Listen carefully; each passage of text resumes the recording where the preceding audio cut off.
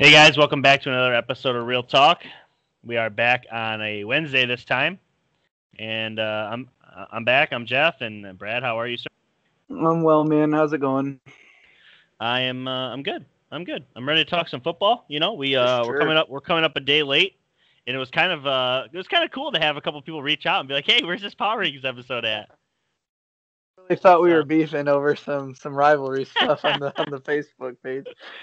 Gosh, me, me and Brad bicker over uh, who's the got the best rivalry in the NFL, and you guys all thought we were canceling the pod. So, uh, outside of that, man, I'm, uh, you know, this this NFL season is, is flying by. We're we're going into week 11, and I have a I have a power rankings list here, and uh, you know, I I like how I lined them up, but I don't I don't love it. It's definitely arguable, and I'm sure yours probably is too. Yeah, I'm sure uh, people people have some some flip flops, but I think for the most part they won't be shocked at some of the teams we throw out. Maybe some of the teams we leave out though. Yeah, yeah, definitely. Um, I mean, let me just start off with who who I left off before I even get into this list. Um, some really good teams, some really really good teams. Uh, the Browns at six and three, left them off. The in, I'm sorry, not the Indianapolis Colts. The uh, the Raiders, who have played very well as of late, uh, six and three, I left them off. The Seattle Seahawks, who started this league five and five and zero, have dropped one of the last, or they've won one of the last four games. Um, I left them off and the Tennessee Titans, who I think both of us has had as high as maybe even three, I left them off. So let me go ahead and just start off. Coming in at number eleven, the Indianapolis Colts. They're six and three. They uh, they're plus sixty five on the year. They just recently beat the, the Titans on on Thursday night by two scores.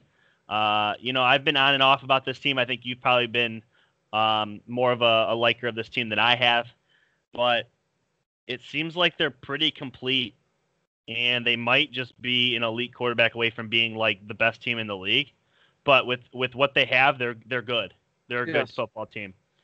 Uh, they they use a multiple backs. They they're not in love with any one running back, and they don't really have any dominant receivers, but they do enough with just about everybody. It, really reminds me of a talented Chargers team over the last several years. They just have a lot of good pieces, not anybody super elite or anything like that, but they do have a massive matchup this week against the Packers and uh, I think we'll find out more uh, of what this team's about. But they're at home, and uh, they've played pretty well there this year. Coming in at number ten, the LA Rams at six and three. They're plus forty eight on the year. They're one of three teams in the league that's perfect at home. Them, the Seahawks, and obviously the Pittsburgh Steelers, who are undefeated. Uh, they have a massive matchup this week with the Tampa Bay Buccaneers. It's going to be on Monday Night Football. I think we're going to find out a lot about both teams, and I'll, I'll allude to a certain statistic here in a minute. But I think the Rams have a pretty good shot at maybe picking up the win there. Uh, coming in at number nine, this is the lowest they've been on this list all year. I still like this team, but uh, I'm not going to reward them after losing on Sunday night. It's the Baltimore Ravens. They're six and three. Uh, I mean, this team's as good as anybody. They're plus 79 on the year.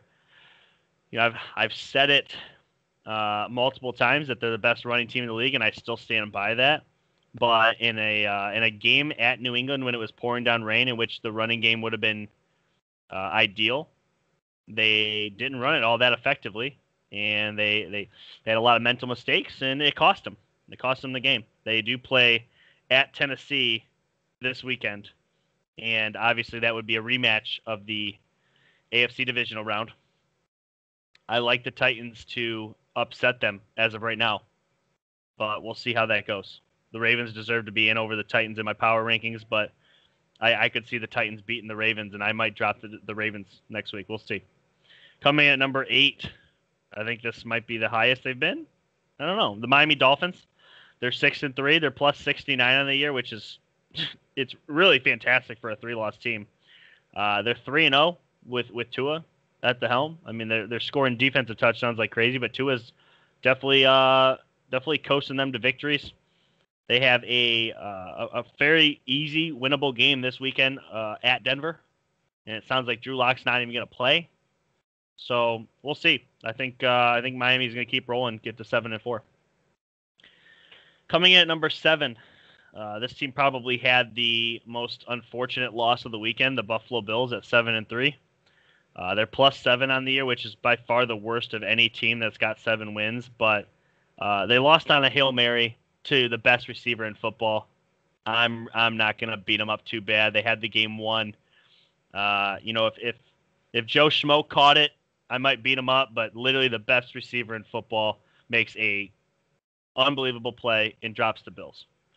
They have a bye this week, so they have some time to uh, reset and get ready for uh, you know their their next their next matchup in Week 12. Coming at number six, it's the team that beat them, the Arizona Cardinals. This is probably the highest they've been on my list, six and three, uh, plus 56 on the year. Kyler's been unreal. I mean, we've talked about him a lot. He's 17 touchdowns, eight picks. He's also got 10 rushing touchdowns, so 27 total touchdowns. Is just it's, it's really staggering. out of it's, it's really out of this world. I mean, we're literally we're just over the halfway point, just over. He's on pace for 30 some odd touchdowns and 15 rushing touchdowns. It's just, uh, I mean, can you imagine 50 total touchdowns in in the NFL in today? I mean, it's been done like three times three times in a second year quarterback. I mean, who knows? Uh, coming in at number, oh, I'm sorry, they play they play this Thursday night at Seattle. Obviously, they beat Seattle this year in Glendale. Uh, Metcalf Matt, chase down. Yep, with the Metcalf chase down. That was one of the more exciting games of the entire year. It's definitely a top three game that's happened so far this year. I expect this one to be fireworks too. Coming at number five, it's the Green Bay Packers. Uh, they're seven and two on the year plus 53. They did struggle with Jacksonville this week. Uh, I, I didn't, I didn't, I wasn't too hard on them. You know, this team, uh, they win a lot of games. They've lost a couple, but they win a lot of games too. Rodgers on the year has been nothing short but incredible. 26 touchdowns, three picks. He's, he's number one in passer rating at 116, which is weird, but it's like his career average. So I mean, it's not even like an above average season for him. He's, I think he's a career average of like 114 or passer rating, so he's slightly above it. They have a massive matchup at the Colts this Sunday. Coming in at number four, uh, you know, I'm I'm not going to beat this team up over some Saints losses. It's the Tampa Bay Bucks. They're seven and three, plus 70 on the year. This is the biggest statistic I found. You know, I, I dropped a statistic last week, but uh, truly, this is an even better one. They're five and one in games played before eight o'clock at night and you're like, well, you know, what what is about the prime time? Uh, they're two and two in prime time, and from everything I hear, Tom Brady on a normal day goes to bed before nine o'clock at night. Uh, it might be one of those things where he's coming out sluggish in primetime games. Obviously, the Super Bowl is prayed at prime time, and there's a lot of primetime games left. But for them, they're going to play of their last five games. None of them are in prime time.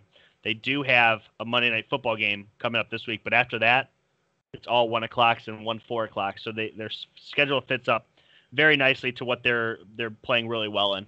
So watch out for the Tampa Bay Bucks coming in at number three. This is probably the highest this team's ever going to get on this list because I, I see them dropping. But it's the New Orleans Saints. As of right now, they're the third best team. I don't know that it stays that way. They just lost Drew Brees, Drew, yeah, Drew Brees for a few weeks. They're plus 58 on the year. Kamara has been incredible. He's been as good as any player in the NFL this year 1,100 total yards and 11 touchdowns.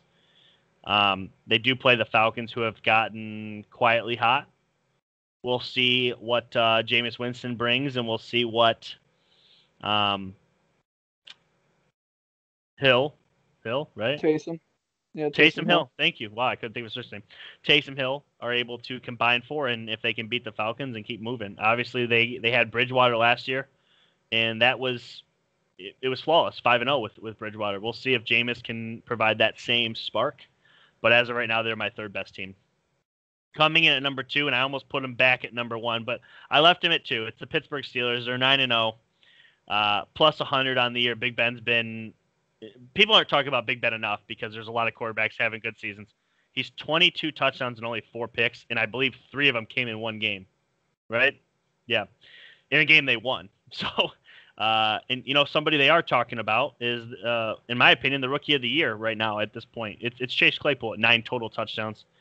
They have a very winnable game this week against the Jags. Um, the only reason I have this team at two is if they played Kansas City today, I would pick Kansas City to win. That's the only reason.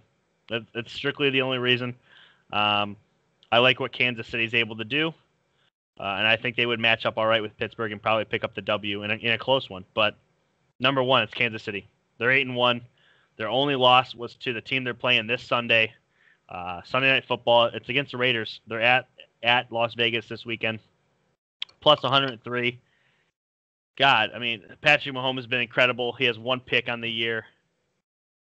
I, I don't have too much to say except the fact that they have one loss since last November.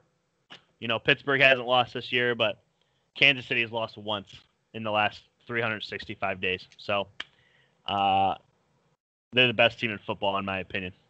So that wraps it up. All right. Um, you alluded to a ton of things. Normally I go second. I'll just keep it short and sweet. Um, you guys will see that Jeff and I both did top 11s this week. Yep. Consequently, we only have two teams different and we have them swapped in spots. So our lists are pretty much the exact same. Um, number 11, I have the Colts. Um, and it's because I couldn't decide to put them at 10 over the Rams. I ended up going Colts at 11. Um, however, they have a huge matchup against the Packers. Um, as I alluded to last week before they played the Titans, the Colts play the Titans, Packers, Titans, and the Titans play the Colts, the Ravens, the Colts. So they both had a three game tough stretch against each other. Um, Colts have been playing extremely well. Their defense has been absolutely amazing.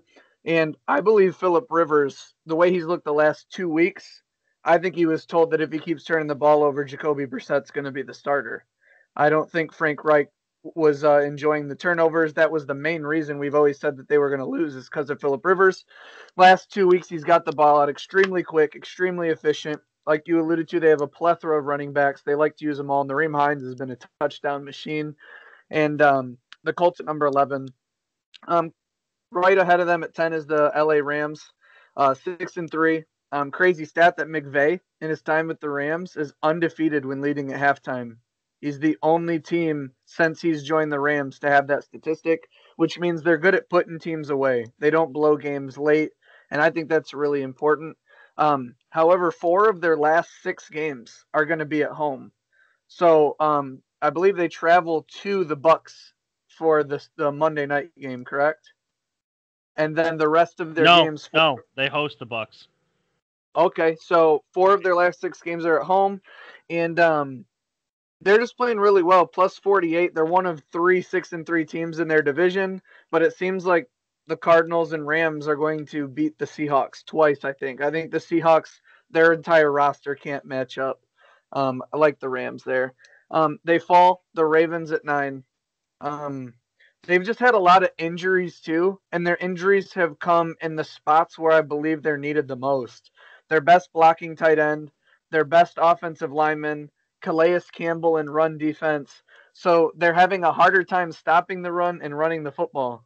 And what do we know about the Ravens? They like to stop the run and run the football. So uh, I'm not going to say that a game against Bill Belichick on the road in a monsoon defines them, but they are six and three, tied with the Browns for second in the division. This could be a team that, if they slip up a few more games, it's crazy to think could the Ravens miss the playoffs. We'll see that in the future, but right now I still have them as a top 10 team. I think they'll be okay at number 9. Here's the difference. I have the Packers at number 8. I dropped the Packers because I know they won. Matt, great call out with the uh, with the upset. I know it didn't end up happening, but I think most people didn't believe at all, including me, that the Jags would keep this close. But it seems any team that can play really, really physical football gives this team a problem. And when you play against these teams above the Packers, I think they would lose to every single one of them. Um, Davante Adams is limping again. You can't really count on him to be there. When he's there, he's spectacular. But he's getting injured. Aaron Jones has missed a few games this year. Um, Aaron Rodgers is really carrying the ship there. I think their defense has a lot of questions to be asked on their front seven. I just don't think they are an elite team, but I think they're a very good team. Seven and two maybe you could say that I'm wrong, but um, I don't think the Par- Packers have been super convincing at all this year. Number eight, um, Buffalo Bills. They're on a bye this week.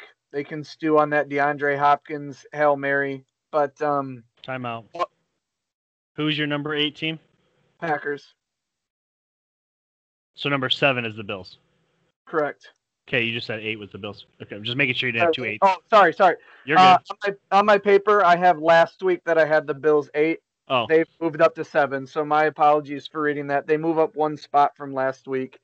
Um, they're only plus seven. This team is in close games all the time. It's always fun to watch. But their defense is starting to come around the last few weeks. Tre'Davious White's gotten healthy. Um, their their their run defense has been okay. They've found ways to pull away. Um, I like what the. It's all on Josh Allen. The team goes as he goes, which is for most quarterbacks. But I like the Bills' entire roster, and when Josh Allen is on, this offense is near impossible to stop with his size and arm strength. The addition of Stefon Diggs still doing his thing. Cole Beasley.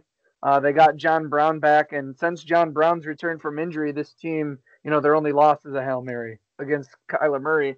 Which little fun fact: Kyler Murray said that's the only hail mary he's thrown in his football career.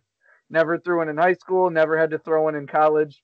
So he is 100% one for one on Hail Marys, but he's throwing to D Hop. So that's well, well, let me jump in there because I actually have you heard the percentage of that that completion? Mm-mm. The the expected percentage was less than 10%. Well, that's so if you, if you were to throw that 10 times, once, nine of them would have been incompleted. maybe even all of them. So it's just crazy to think. And D Hop called for it. Oh my god. Yeah, we'll yeah. get right into it. Um, from nine to six, I have the Cardinals again right there where um. I have the Cardinals right above the Bills, as you did. They move up three spots. Um, they're six and three. They are the number one statistical offense, which, I mean, I know we kind of talk about them as good, but they are higher than the Chiefs and the Saints and the Bucks and the Steelers and all the other elite offenses. The Packers, the, they have the number one. They've scored over 30 points every week since week four, which is early October. Um, their point differentials plus 56, which is really good. Their next three games, though, Seahawks, a Pats team that seems to be trajectorying up, and the Rams. So two division games, and then a tough, tough out against Belichick, who's playing a second-year quarterback who hasn't seen him. So, um, and Stephon Gilmore is an interesting piece up against DeAndre Hopkins. Not many teams have that kind of corner, but they're going to get two in back-to-back weeks. They're going to get uh, Stephon Gilmore and then Jalen Ramsey for DeAndre Hopkins two of the, the best two corners in the game. So we'll see what this Cardinals offense can do. They've jumped around my top 10 all year. They've just been moving all about. This week I have them at six. At number five, I have the Miami Dolphins. And I know a lot of people can think this is crazy. And I even think it's crazy that they're in this position. We've all thought, you know, in one to two years, they're going to be good they're just ahead of schedule. Their head coach has been decisive. They changed offensive and defensive coordinators. When they didn't like their quarterback at three and three, they moved Fitzpatrick out, put in Tua. We are all like, it's too soon. He's three and zero. Now Tua is getting into kind of the cake of the schedule. They, they're six and three, and their next three are Broncos, Jets, Bengals. I anticipate the Dolphins being nine and three. And with that being said, the Bills after their bye play the Chargers and the 49ers, who are decimated the rest of the year on injury. I believe the Bills and Dolphins will both be nine and three in a couple weeks. So they're both, I think, are going to sit around the middle of our top top list here. And um, we alluded to this a little bit before the podcast. I like what the Patriots are doing. Um, we'll see if they can maybe keep this door open. Uh, just kind of getting to them because I know they're your favorite team. They're important to the podcast. Um, just I wonder if this win streak might come too late because I anticipate, like I said, the Dolphins and Bills both being nine and three. But with seven teams in the playoffs, there's always that chance you can be third in your division and still make it. Now to the top four. I don't think anybody else has this different on earth. You might have them in different orders, but these are the top teams. The Buccaneers, they're seven and three, plus 70 is the fourth best point differential in the league. They're the only team to have three wins by 20 or more points. So when they're firing on all cylinders, they are unstoppable. They just blow out teams. Um, they're seven and one against everyone not named the Saints. So I mean, even your two and two in prime time, two the both those losses were to the Saints. If it's not the Saints, they're two and zero in prime time. So the Buccaneers just have a kryptonite, and it's the Saints. We'll see what the Saints can do. Uh, we'll go right into them. Oh, actually, the Buccaneers have two tough games up: Rams and then the Chiefs. So it's not easy for the Bucks, especially when they know they've lost two to the Saints, who kind of have a little bit of a cupcake here. We can talk about how Drew Brees is out, but Jameis Winston adds a new element in his ability to push the ball down the field. And if he turns the ball over, I don't think they're scared to bench him for Taysom Hill. But Falcons, Broncos, Falcons. Broncos are not a good football team, and Drew Lock loves to turn the ball over. And the Falcons, they may be sneaky hot, but they still are a bad defense. And Jameis has seen the Falcons his entire career, coming from in division. So I think he's actually he doesn't have to play against Julio and Matt Ryan. He's playing against the Falcons defense, which he's seen for four years, and now he's got Michael Thomas, Emmanuel Sanders, Alvin Kamara. I think the Saints are going to be just fine the next three weeks. Top two teams, you can't have any different. It's the Chiefs and the Steelers. I have the Steelers at one. Um, their next three games: Jaguars, Ravens, Washington. Like I said, the Ravens are getting kind of beat up, and the Steelers did beat them once already. Um, the other two teams, I believe most people think the Steelers have overwhelmingly better rosters than the Jags and Washington. Um, these two teams, the Chiefs, they play the Raiders, Bucks, Broncos, have a little bit more difficult of a schedule the next three weeks. But um, there's only two teams in the league with over a hundred point differential. Steelers at 100, Chiefs at 103. Um, there's only two teams that have double digits in their average margin of victory. Steelers at 11.1, Chiefs at 11.4 these are the two top teams in the NFL right now. Um, they just um, one has an MVP candidate, one has the comeback player of the year leading candidate, Mahomes and Big Ben. Um, the Steelers defense leads in sacks, quarterback hits, tackles for loss, quarterback pressures. I believe they have the front seven in the league. You could argue Buccaneers, but I don't think they've been as consistent as the Steelers. Um, just a few facts about the whole league here, guys, and it's getting pretty crazy. Um, nine wins with the Steelers, they're the only team. Eight wins is the Chiefs, only team. There are four teams with seven wins: Saints, Bucks, um, Raven, or uh, Packers, excuse me, Bills. Three from the NFC, one from the AFC. But what is kind of staggering is after you get through those six teams, there are nine teams in the NFL that are six and three or six and two, or um, excuse me, just six and three. I believe they've all played nine games. Yeah, there's uh, nine teams that are six and three, and six of them are in the AFC. So when you terms of the playoff picture, there are one, two, three. There are nine teams in the AFC with six wins or better. It's an absolute brutal slugfest. The NFC has six teams that have six or more wins. The playoffs are looking almost all but set in the NFC. Uh, that seventh place um, will obviously go to the terrible NFC East winners. Um, they just don't have a good record, but you win and you're in. It's always the rule, and you really can't complain because you never know when that'll benefit you. You could have some sneaky dark horses if the Vikings continue to go on their run. Um, the Chicago Bears, I believe, weren't they five and zero? Oh? No, they are now. Were they four and zero? Oh? Four and four and one, and then five and one. Okay, so they were five and one. They're now five and five. They were the number one seed in the NFC at one point when they were five and one. Yep. And then they just terrible. Um, yeah. We'll see if there's a team, maybe the 49ers with all these injuries, see if Kyle Shanahan can pull something together. But outside of seeding, the NFC almost looks already set. You're going to have the Packers, Bucks, Saints, Seahawks, Cardinals, Rams, and the NFC winner. Um, I don't yeah. know if any of those teams can do so bad as to where maybe the Vikings who look way better than the Bears right now, could potentially maybe sneak in as a seven seed. But uh, if you're in the NFC, there is it's it's a clear top half and bottom half of the NFC. When you get to the AFC, oh my, the last three weeks, there's going to be so much changing in seating and how many teams still have to play each other, and in division and uh, in conference it's crazy to think that we only have six weeks left in the NFL. I mean, we're in week 11. There's maybe a few teams that have a bye. Out of the notable teams here, the Bills are about to have theirs, and the Bucks are two weeks out, three weeks out from theirs. All these games are starting to matter, and and when the good teams play the good teams, these games are really going to start to count. Like uh, like you alluded to, some of the matchups. You have uh, the Cardinals, Seahawks. You have um, the Packers versus the Colts, the Rams yeah. versus the Bucks all three of those games are this weekend. That's well, one's Thursday, but well, let me let me get let me say let me say this, and not that my list is the end all be all by any means, but of my top eight teams, six of them are on the road this week. One of them's on a bye. Who knows? I mean, this this week in the NFL is big. I think there's a there's a lot of big games going on. I mean, week week 11 is going to be extremely busy. And, well, the thing is too the the one team that you have is the Bucks, who are not on the road, right? Number three on your list. No, the Bucks are on the road. the they're Bucks playing. are. They're playing at the Rams. So the Rams, Gotcha. uh, they gotcha. come in at 10. So the one team that's at home is the New Orleans Saints. They're going to play the Falcons. Gotcha. Okay.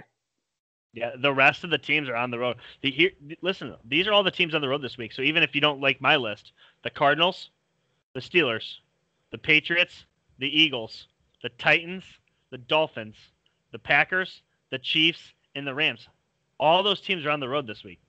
I mean, I don't make a huge deal because a lot of these teams don't have uh, don't have fans in the stadium, but there's a lot of bad teams hosting home games this week.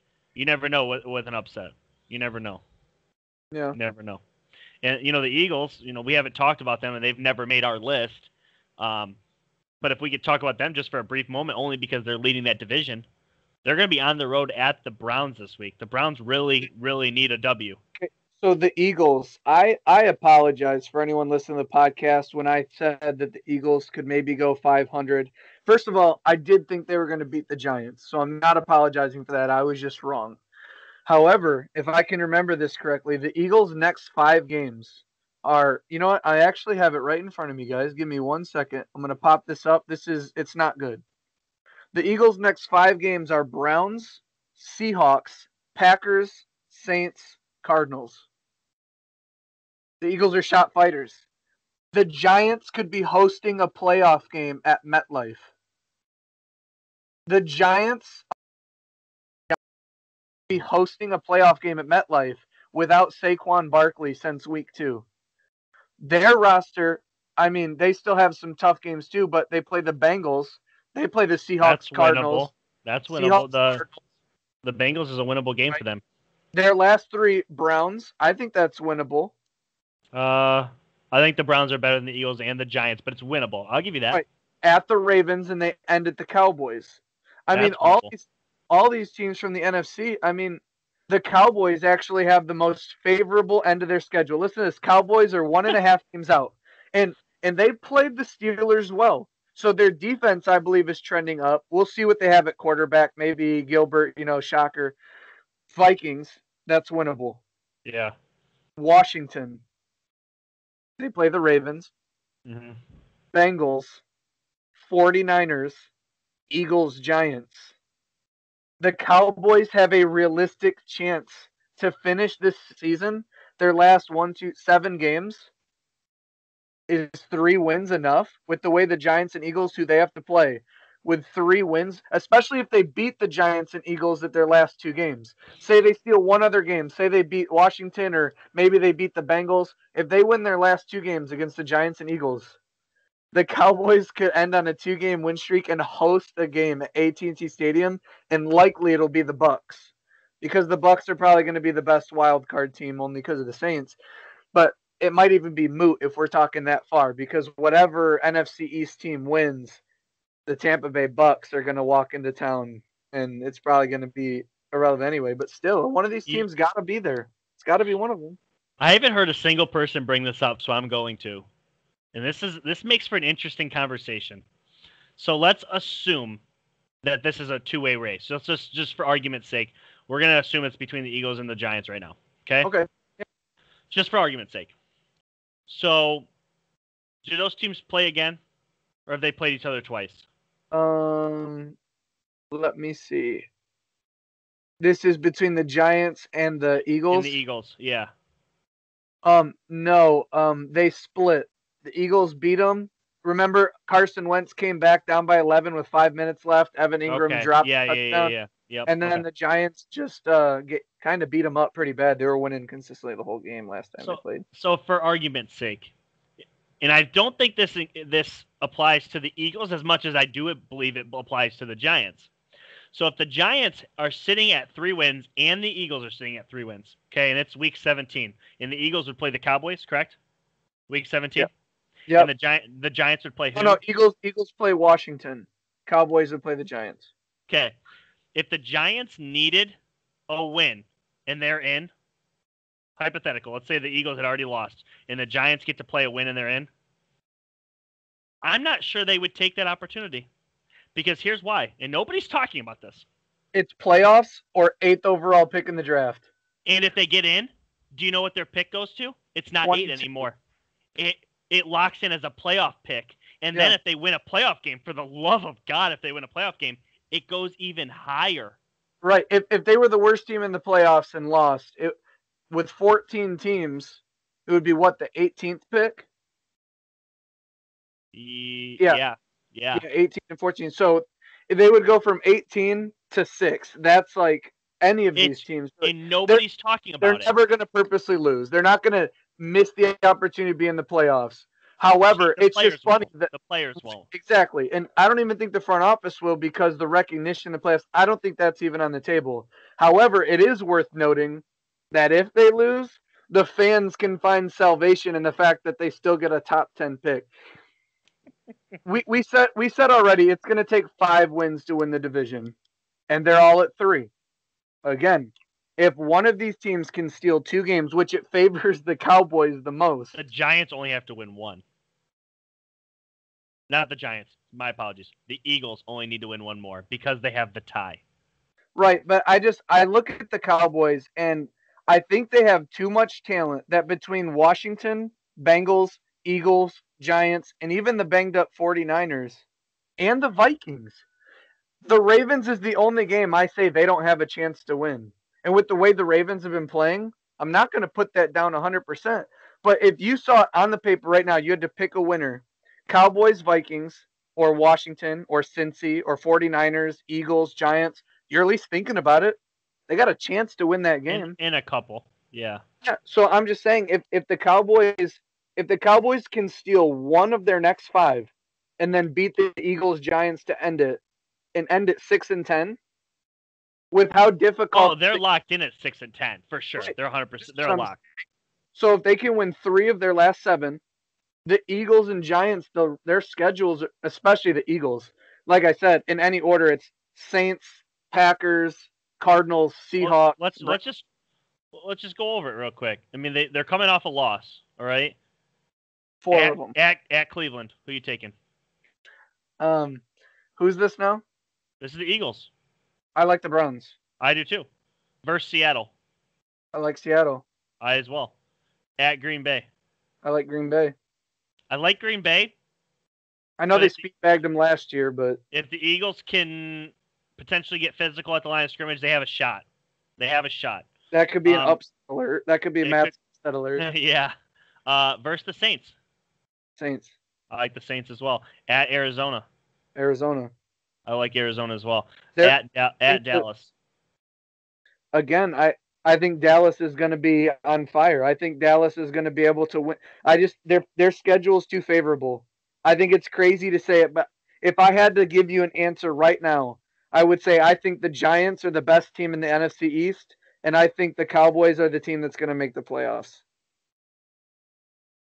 If I had is- right now, looking at their schedules with all of them at three wins, or no, the Cowboys are only at two. I don't. Maybe we're wasting too much time on a team that's going to get bounced in the first round. Whoever It's just it. we. To be fair, it's the power rankings, and this is the only division that's never been represented in our power rankings. So Yeah. trying to trying to give them some airtime and some real because they're a playoff. One of these teams is a freaking playoff team. Where I mean, for me, number eleven was Indianapolis. For you as well, they might not be. So at the end of the day, there's a chance that Indianapolis might not be a playoff team, and I think they're too good to not be. But just stating the facts. And you know, I say some of these games are winnable, but I'm almost forgetting that they got beat 25 to three by Washington and 23 to nine by Philadelphia. I Yeah. I just think it's crazy. You know, it's just weird how well they played the Steelers with that different quarterback. But again, we all know Mike Tomlin's Steelers. It's sketchy sometimes how they play on the road against a really bad team, thinking they got the win. I'm glad we bounced back against the Bengals. I told you we might get upset, but it ain't gonna be the Bengals. yeah, you, gonna be the you you nailed that game. I'll give you that. I'll give you that. Well, I mean, we uh we nailed this power ranking. Anything else you wanna want to talk about? We do have the NBA draft tonight. Yeah. You know, guys, uh, we'll be watching, but there's not enough to talk about as of right now. Yeah, I know. Um, I know. I forget his name. I think it's Anthony Edwards or something like that. Um, Yep. it's Is that his out name? of Georgia. Out of Georgia. Yeah, out of Georgia. He's kind of the unanimous one at guard. Ah, He, he's he's gonna go number one. And i- if the Warriors are going to use the number two pick, if they're not planning on trading this player, James Wiseman seems to be the unanimous second pick. yeah. Um, I think they're unanimous because I think they're the best two players coming out, but one's a guard and one's a center. Just based off team, who has the pick again? I, I already forget. the Timberwolves. Yeah, the Timberwolves have Karl-Anthony Towns. Um, I think Anthony Edwards would be a great addition to that And squad. D'Angelo Russell. Yeah, so th- they'll have a good backcourt there. Um, I think it's a need, and obviously the Warriors need a center. You add James Wiseman, a young guy, to Clay, Curry, and Draymond. Let's not. Here, here's what I want to say real quick. We're just going to get into the NBA a little bit, try and go back about five years ago, six years ago, and try to remember how much fun you had watching the Warriors before they added Durant. When they were just the Splash Brothers, and they That's were winning a lot of games, and they were them, yeah. super competitive. I loved watching the Warriors. They added Durant, and it was like super team versus LeBron Cheaters. for Yeah. like two or three years, or two years, and then Curry and Clay got hurt. When they come back, they're gonna remind everyone how good they are. But like, just try to remember how fun the Warriors are to watch. They're not that. I think that's what's making everyone talks about the NBA ratings have plummeted. I think it's for two reasons. One, the regular season doesn't matter to an extent. Over half the league gets into the playoffs. And two, everyone knew who the finals was going to be for four straight years. It's going to be LeBron versus the Warriors. We'll see if he can take down the super team. You know, he did once. You know, it, it happens. So now it's like the even last year, sure the Lakers and LeBron ended up winning, but it was like no one really knew. There was so many trios and duos that every team, you know, we had so many good matchups in the playoffs. The Celtics Heat playoff series, right in the first round, I believe it was, or second, the Jazz Nuggets, Jamal Murray versus Donovan Mitchell. That was amazing. What Luka was able to do to the Clippers all by himself, you know, steal two games, almost stole a third. Um, the Bucks, you know, losing to the Magic one game and then getting bounced by the Heat. There was just so anybody who watched the NBA playoffs last year was phenomenal. Yeah, was And again, this you add treat.